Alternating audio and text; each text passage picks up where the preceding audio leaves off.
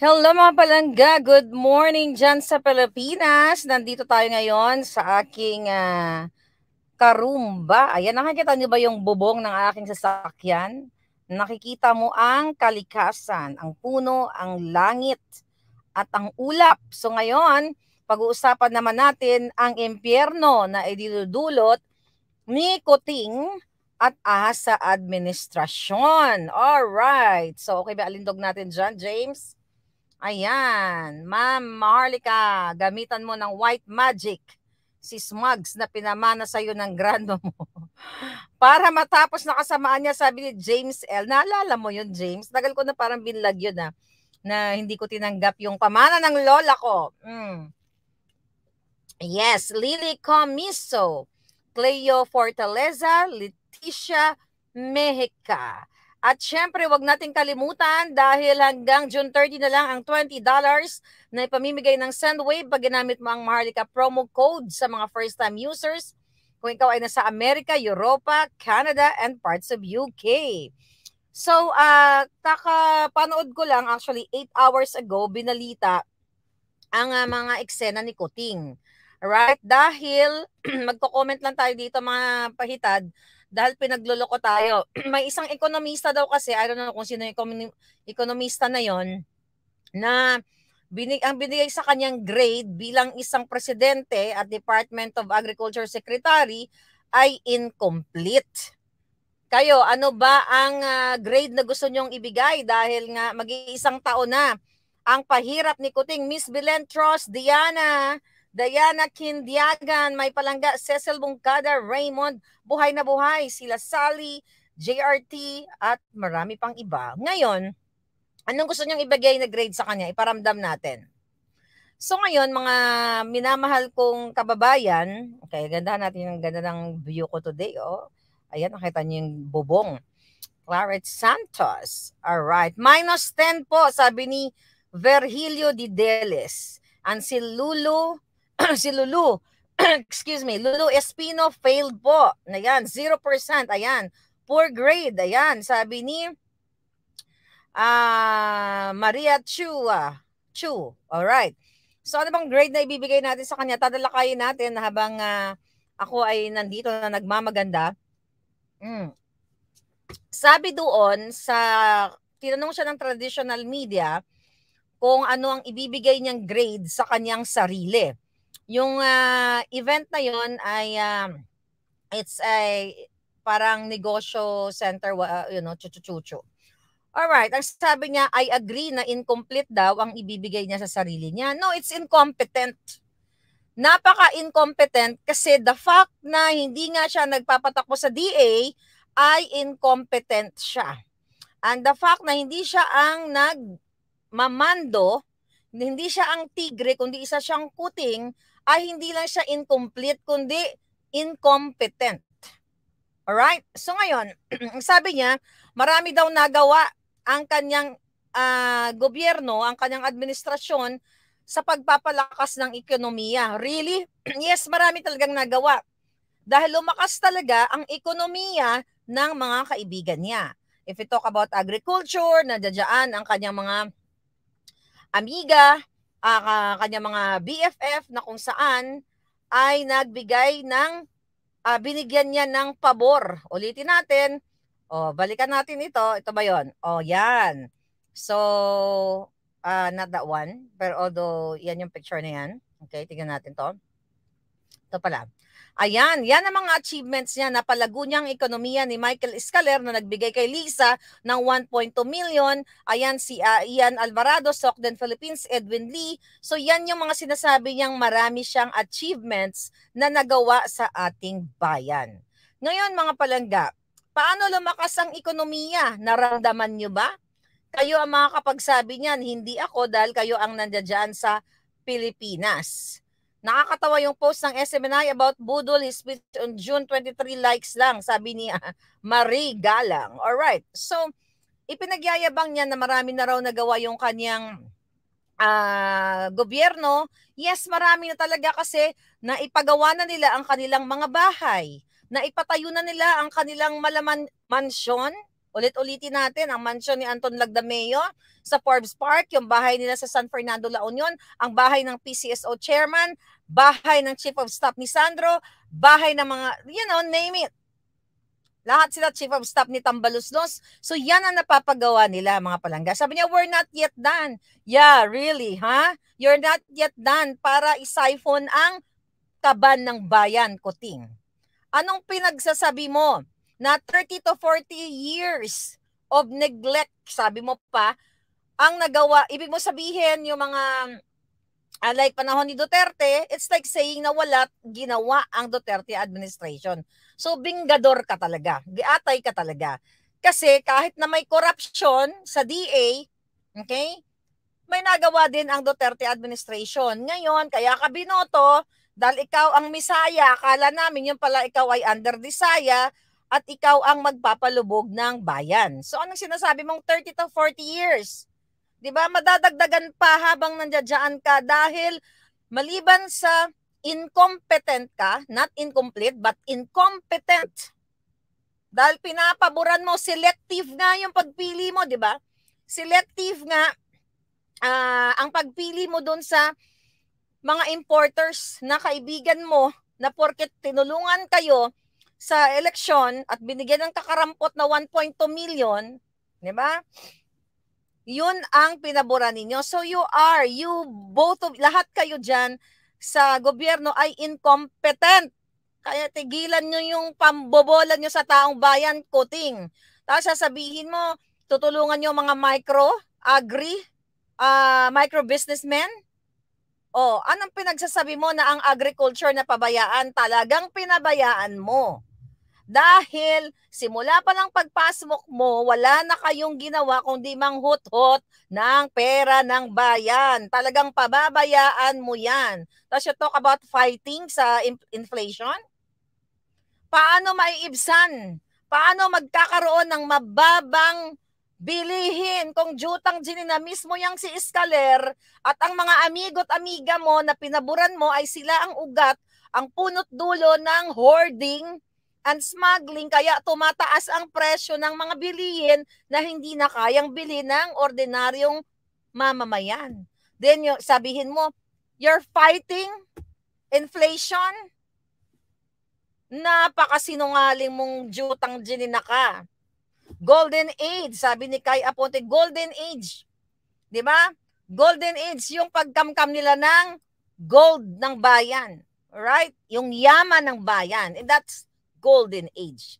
Gigil ako mga palangga dahil pinaglolo ko tayo. Sasabihin pa niya, yun, no, kailangan natin, marami pa tayong gagawin dyan sa uh, Department of Agriculture kasi that's the most um, fundamental parts. Lahat naman ginagawa natin para hindi mahirapan ang taong bayan.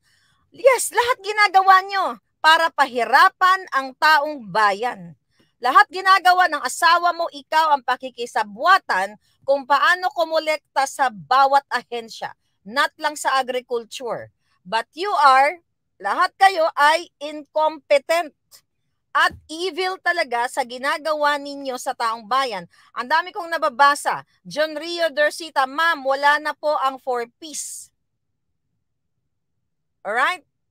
Gracia Digal, thank you palangga. I love you too. Claret, Claret Santos, sadly a weekly budget of 2,000 pesos for our family of five if sometimes insufficient, hindi gaya ng dati. Ayan, mga taong bayan nagsasalita. Liar, go to hell talaga mga hinayupak, sabi ni Silds Carb Senal. Next election, Marcos uh, Marcos ulit tayo. Really? Malulubog na wala ng next election para sa kanila. Mga salot ang mga jutang ginina. Sabi ni Sil. So ngayon mga palaga, pinagloloko tayo. Kaya talagang napaka-incompetent ng taong ito na kunyari, concern siya sa mga magsasaka, pero yung kanyang pamilya, yung kanyang first family, ay eh, wala nang ginawa kundi makipagsabuatan at makipagdorobuhan sa bayan.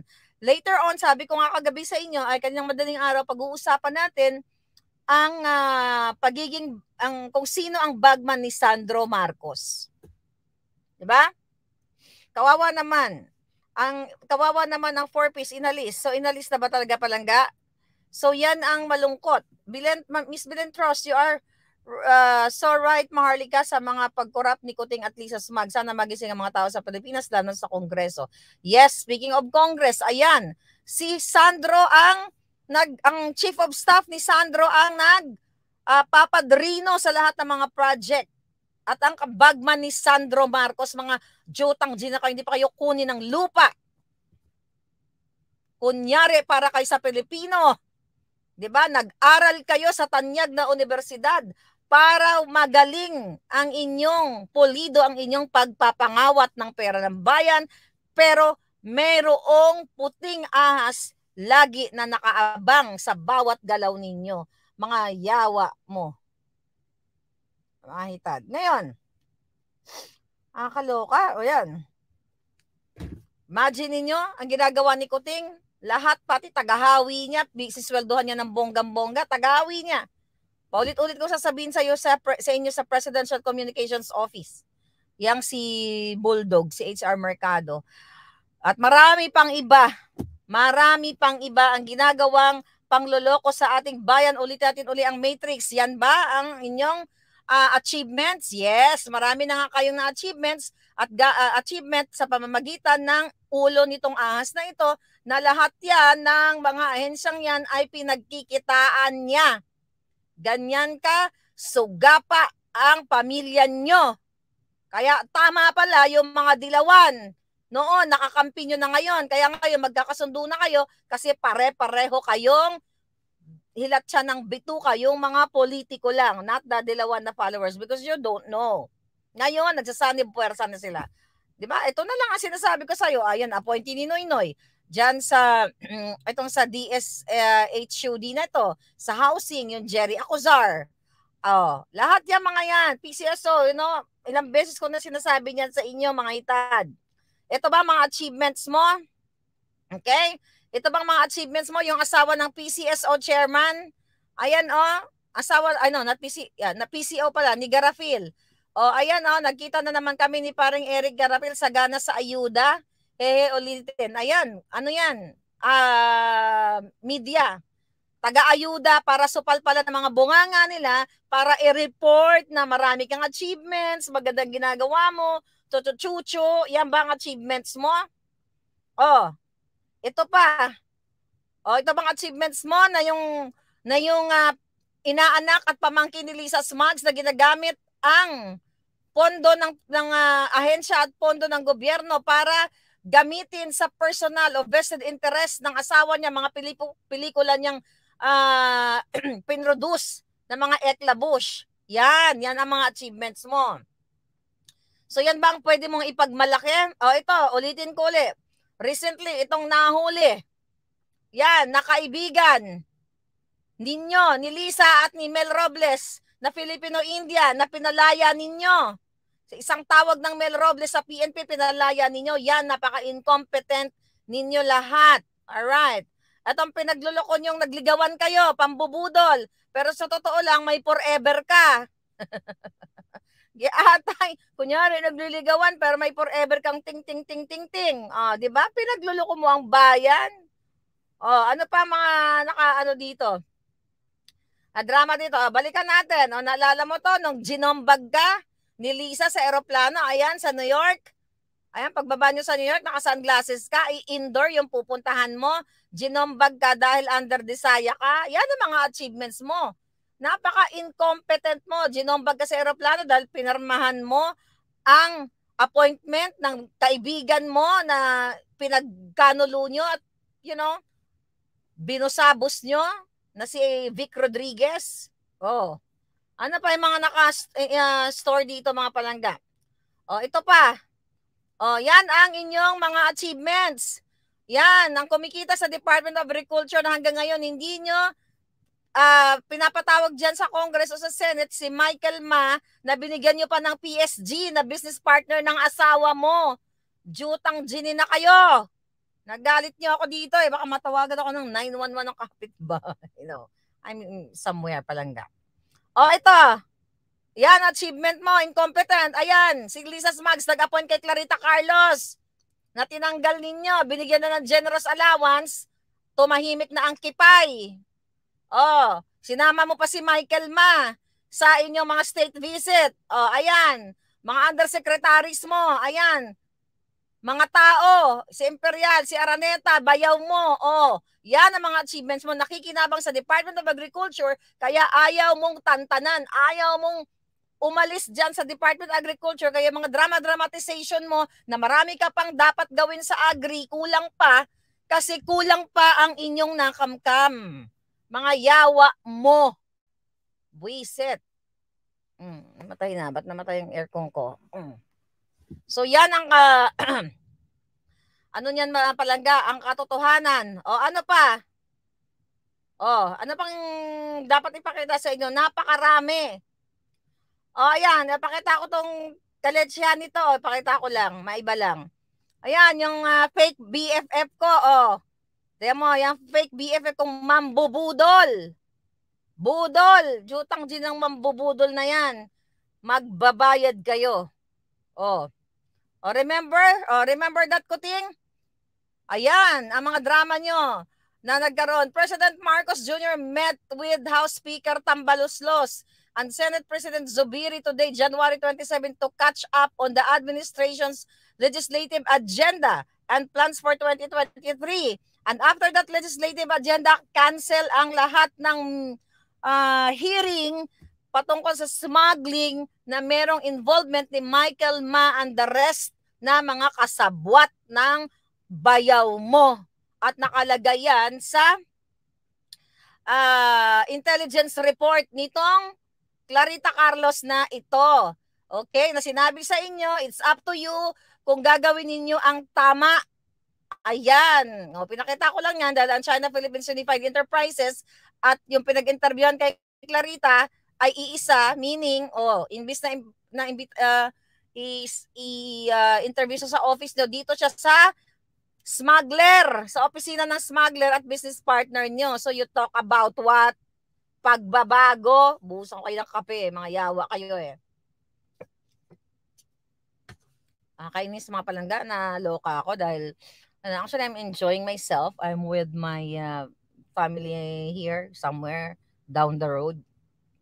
Tapos magdadrama-drama, kesyo ano daw, kesyo marami siyang nagawa. Kung di ba naman sinungaling. Oh. Oh, ito pa. Oh, nalala nyo. Yan ang iyong achievement sa agriculture. Na yung mga smuggled sugar ay ibinenta ninyo. Pahayag ng Presidential Communications Office ukol sa donasyon ng smuggled sugar sa kadiwa ng Pangulo. Di ba may mga na-intercept, may mga nahuling uh, sugar, uh, smuggled sugar na sila-sila rin naman ng mga sangkot. O, oh, ayan, that was March of this year. O, oh, anong sabi ni, ninyo dyan? Kamakailan inaprobahan ni Pangulong Marcos ang rekomendasyon ng Sugar Regulatory uh, Authority na ibigay bilang donasyon sa Department of Agriculture ang 4,000 metric tons sa nahuling smuggled refined sugar upang maipagbili sa publiko sa mga kadiwa centers na halagang katumbas ng actual meal gate prices na ngayon ay nasa 70 per kilo. Ipinag-utos din ng Pangulo na makipag-ugnayan sa DA, ang DA at SRA sa Bureau of Customs at iba pang mga ahensya ng pamahalaan upang masiguro ang naturang mga asukal na ipagbibili ay ligtas at pasado sa Food Safety Act at iba pang mga regulasyon. Hindi ko natatapusin yan. You know what? Imagine mo, smuggled na yon Talagang, kumbaga, bonus na dapat sa taong bayan yon. Tapos idinaan na naman sa Department of Agriculture, sa DA at sa DSWD at magkakasabot kayo lahat yung smuggled pinag you know pinagkitaan pa. At sino ang mga kumita sa kadiwa? Naramdaman ba ng taong bayan na nagsimura ang mga bilihin through kadiwa projects o kadiwa centers? Wala. Kasi napatunayan natin noong December Doon sa sibuyas pa lang, shabuyas, okay? Yung sibuyas na lang muna. Na binili, nalala niyo palang ga, ina, ano, bilag natin, na binili niyo ng 500, uh, ah, tama ba, 530 ba? 520 mm, something, 500 plus. Binili ninyo ang sibuyas, 500 plus per kilo. Then ibinenta niyo ng 170. Again, ginigisa mo sa sariling mantika ang taong bayan dahil yung perang pinabili niyo, pera din ng taong bayan yun. Yung asukal na smuggled na binenta niyo pa, pera na, ay, kumbaga, galing sa mga smugglers, dapat i-donate nyo. Ibinigay nyo sa taong mahirap.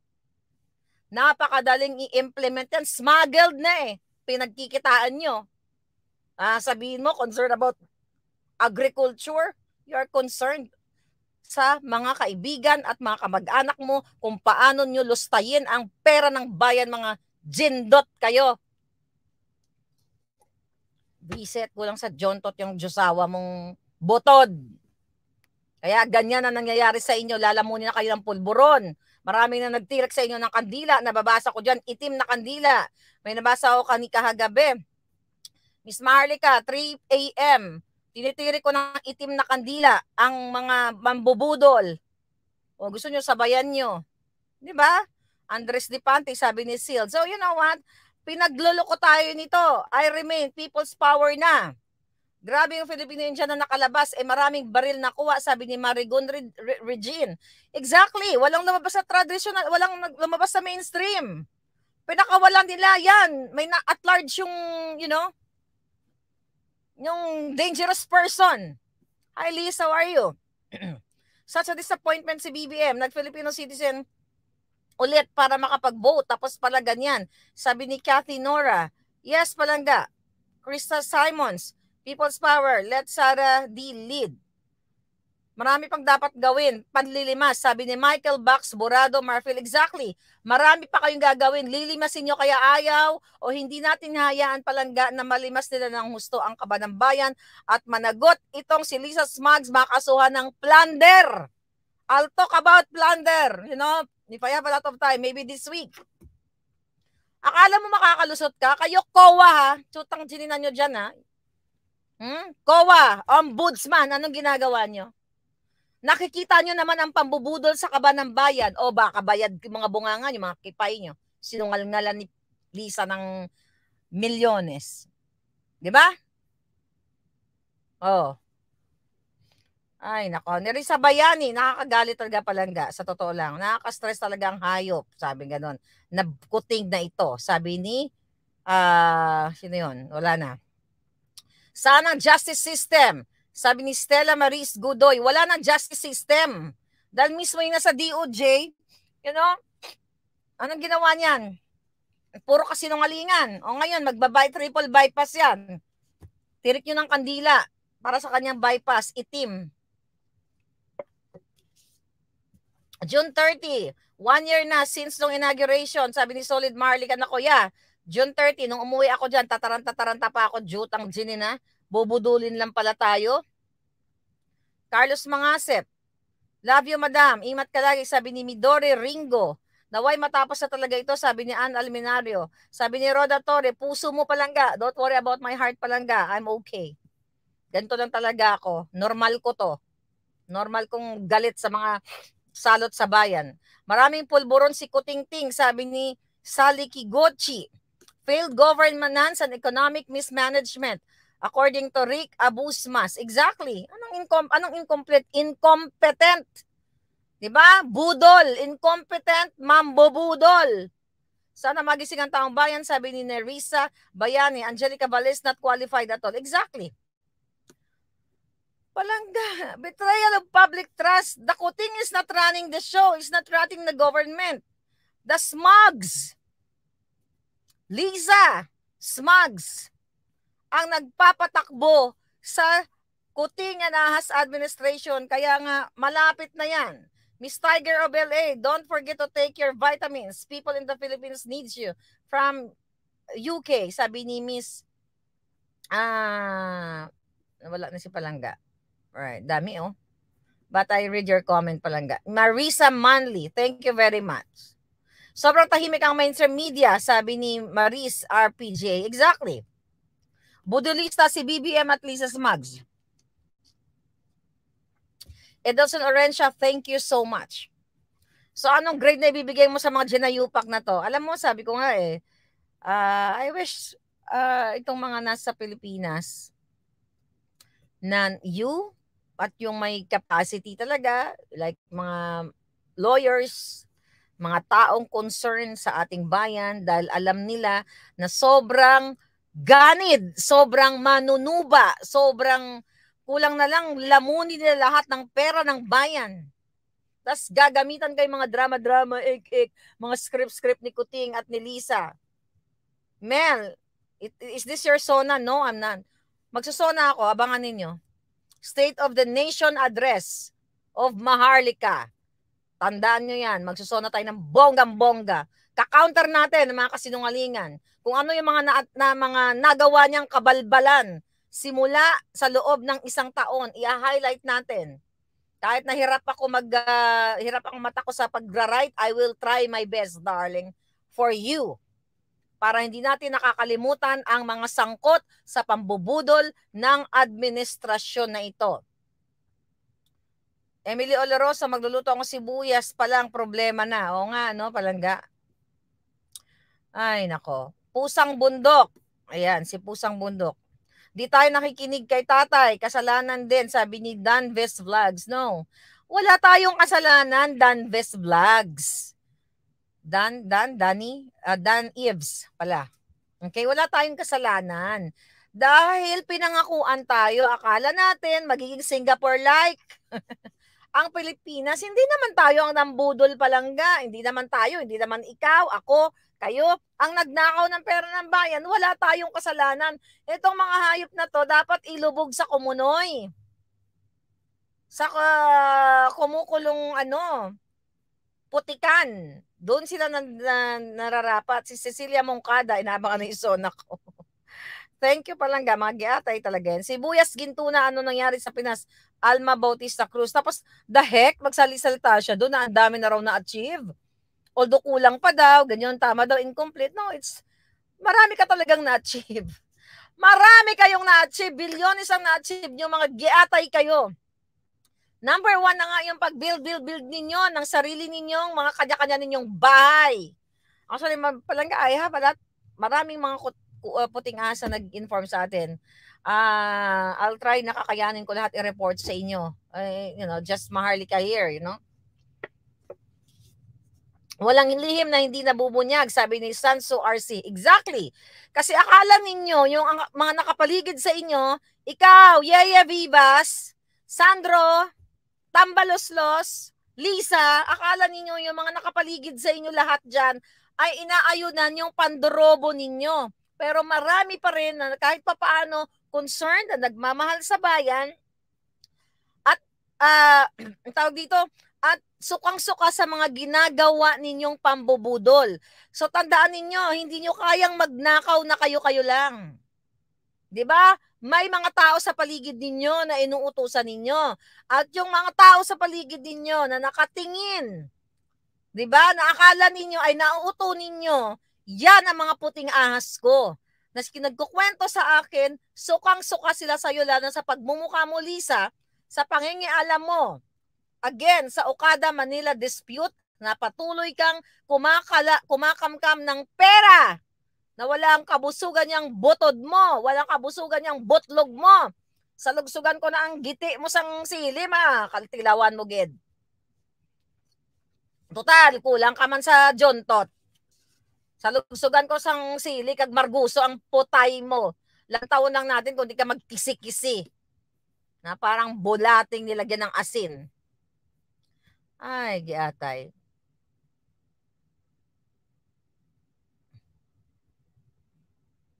Oh. Liz, thank you so much. May mga adik na naligaw. Oh, ayan mo, kamag-anak ni Lisa yan.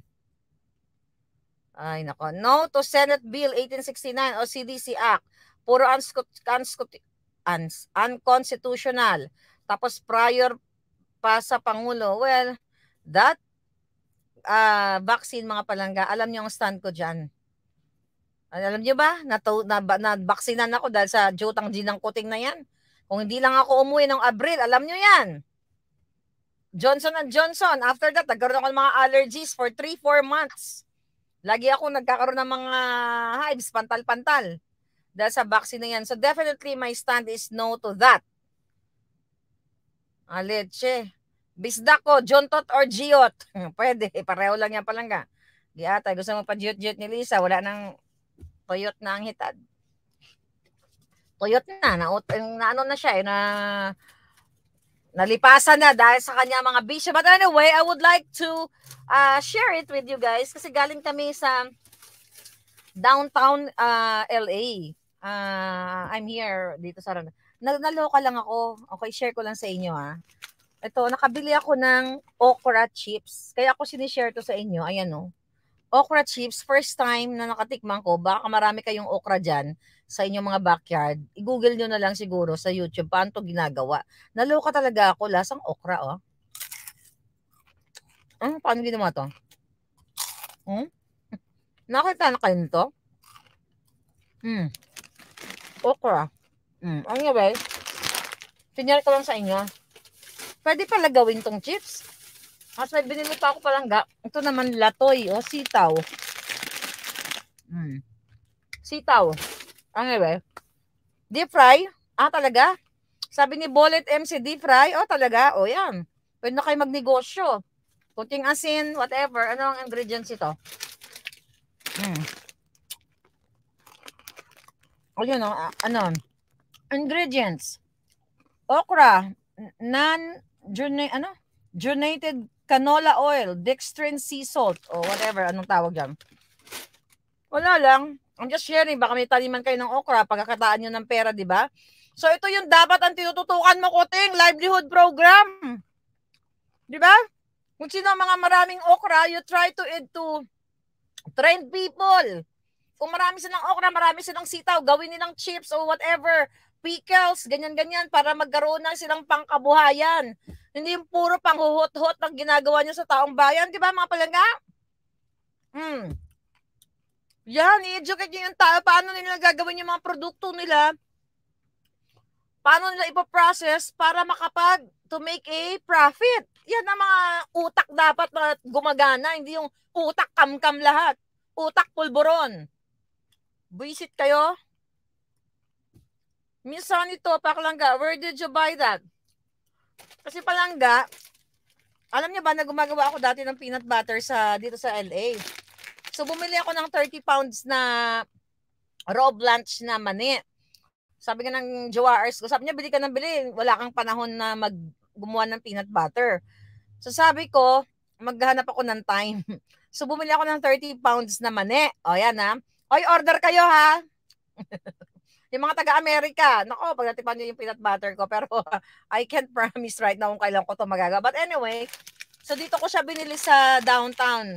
Sa Town Avenue ba? Town Avenue, uh, T-O-W-N-E. Ang pangalan, ito, Pack Binalot o Pack by Gas Picolos Nuts. G-U-S-T P-C-O-U-L-A-S Nuts. CO, Los Angeles. Ayan o. Oh. Pinromote ko pa. Mm, ayan. But anyway, wala lang, na-enjoy lang ako. Kasi nakakuha ka ng idea na ako, first time ko lang nakatikim ng okra na chips at saka sitaw. So, pwede naman pala yun. So, dapat yan yung pinofocus ninyo sa mga agriculture, hindi yung pinofocus mo kuting kung paano makakamkam ng pera ng bayan. Pinofocus mo kung paano pabura ng mga smugglers, kung paano pabura ng mga hoarders. 'Di ba kung paano patasin ang, ba, ang uh, mga bilihin para mahirapan lalo ang mga Pilipino. 'Di ba? Yung mga utak ninyo eh. Galit na ako mga palangga kasi all I thought nung sinusuportahan ko, sinasabi ko to sa inyo, na kapag nanalo si Kuting sa pamamagitan ng boses natin, pag kayo sa mga probinsya, let's say, oy Miss Marlica, baka naman pwede makahingi ng tulong. Kailangan namin ng machine na ganito. Marami kaming mga okra. Maybe pwede mag mahingi ng tulong sa government. Kailangan namin ng fryer o kung ano man, di ba? So sana yung boses ko, kung di tayo dinorobo, sasabihin ko lang, dahil may access tayo kay Lisa, Miss First Lady, na sobrang ganda, kasing sexy ni Kardashian, baka naman pwede mo tulungan ang Barangay 103. Yun yung yun yung uh, access na gusto natin. Kaso paano ka ihingi ng ano ng pabor para sa taong bayan? Yung natumba na si Nanay Rosita na Marcos loyalist sa kanila ni Obolancia, ni sasakyan hindi nila binigyan. Matanda senior citizen na tumba sa harap ng HQ. Marco Araneta, oh yan, mga hayop kayo diyan. Wala kayong puso. dahil humingi sa inyo ng assistance yung tao, dead ma kayo. 'Di ba? So yun yung sinasabi ko sa inyo mga palangga na ito sana, paano ka hingi ng tulong? Hiningan ko ng tulong ng si Nanay Rosela, ni piso wala kayong binigay. Mga giatay kayo, kaya ako galit. Dahil itong mga Marcos loyalists, not only that, lahat ng Pilipino umaasa sa pagbangon. Diba? So this is a good thing, oh. Sitaw, gawin nyo nga yan palangga. If I have a lot of sitaw, I will do it. I-study mo lang naman yan eh. Ayan. Sabi ni Josilia, ah, dyan si Tapon. Uh, ayan, you stay there. No, you stay there. Sabi ni Josilia, asa na yun? Ha ha ha. Di yan totoo kasi kung kailangan ni Maharlika ng posisyon noon pa kay Tatay Digong nasa Amerika si Maharlika, kaya wala. O tama pa lang ka, oy. Mga jutang ginanan yung mga bashers. Panahon ni Duterte, tatlong beses ako inofera ng pwesto, no? Tinanggap ko ba? Excuse me. Mm, hindi ko tinanggap. Alam niya ng mga sekretaris niya. Kung gusto ko lang ng posisyon. Iba ang gusto kong posisyon. Tuwing gabi. anyway, kayo talaga mga basa. Tsaka, blue passport ang lola ninyo. Sampalin ko kayo ng blue passport ko eh. Mga yawa ka, pisting yawa nga ron. Anyway, mga palangga. Uh, tuloy-tuloy ang laban natin. So, uh, gusto ko lang sabihin sa inyo na ang kuting ng Norte at ang kanyang uh, asawang mga manunuba, mandorobo, mga ngamkam ay isang dagok sa lipunan, isang ahas na patuloy lilingkisin ang kinabukasan ng inyong mga anak, mga kaapu-apuhan dahil sila ay incompetent. Walang saysay ang buhay nila sa mundong ito dahil puro kadiliman ang bumabalot sa kanilang puso. With that, I'll talk to you later mga palangga. Tuloy ang laban sa mga ginayupak na ito.